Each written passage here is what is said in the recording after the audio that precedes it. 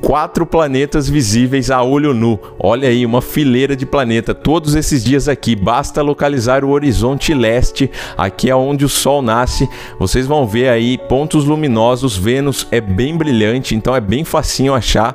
Para baixo vai estar tá Júpiter, também bem brilhante, mais para cima lá, menos brilhante, só que com brilho avermelhado Marte e com um brilho meio amarelado Saturno. Vou mostrar agora por que, que eles aparecem enfileirados. Isso é um simulador do sistema solar a Terra está aqui, vamos afastando aqui, ó.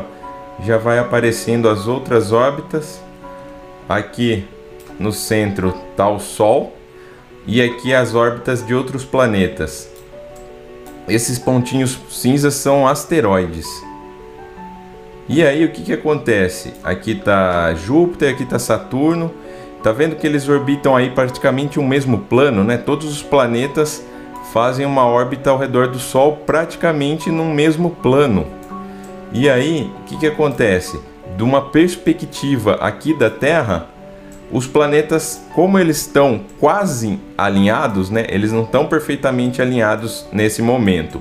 Eles estão, um tá aqui, outro tá mais para lá, um pouco mais para cá, outro aqui e outro mais para cá. Então, tá quase numa reta, mas eles estão não estão alinhados, né? Então a gente vê eles enfileirados no céu. Se tivesse perfeitamente alinhados, o que a gente iria ver seria um ponto luminoso grande, né? Se tivesse todos todos alinhados, seria um ponto luminoso juntando todos esses brilhos aí. Como, como eles não estão totalmente alinhados, eles aparecem enfileirados.